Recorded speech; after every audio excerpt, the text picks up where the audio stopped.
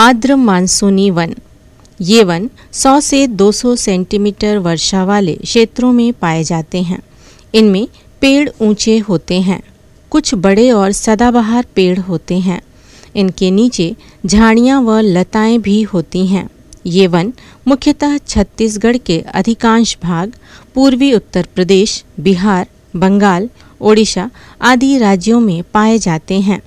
यहाँ के प्रमुख वृक्ष साल, सागौन, शीशम, आंवला, नीम, आम व चंदन हैं।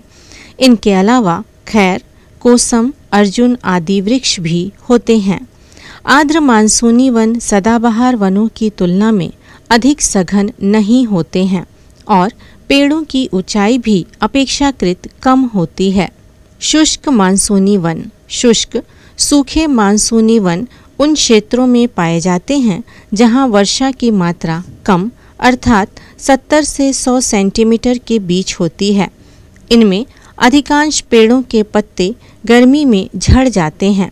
ये वन कम घने होते हैं और इनमें पेड़ों के नीचे झाड़ियाँ कम होती हैं, जिस कारण यहाँ ज़मीन पर घास उगाती है। ये वन पंजाब, हरियाणा, पूर्वी राजस्थान, गुजरात, पश्चिम मध्य प्रदेश महाराष्ट्र और कर्नाटक के अधिकांश क्षेत्रों में पाए जाते हैं। यहाँ के प्रमुख वृक्ष सागौन, तेंदु, पलाश, खैर, महुआ तथा शीशम हैं। इन क्षेत्रों के बहुत बड़े भाग के जंगलों को कृषि कार्य हेतु साफ़ कर दिया गया है। तीसरा, कांटेदार झाड़ी वाले वन। जिन भागों में वर्षा की मात्रा 70 सेंटीमीटर से कम होती है, वहाँ कांटेदार झाड़ियाँ और पेड़ जैसे बबूल, बेर, खैर आदि वृक्ष पाए जाते हैं।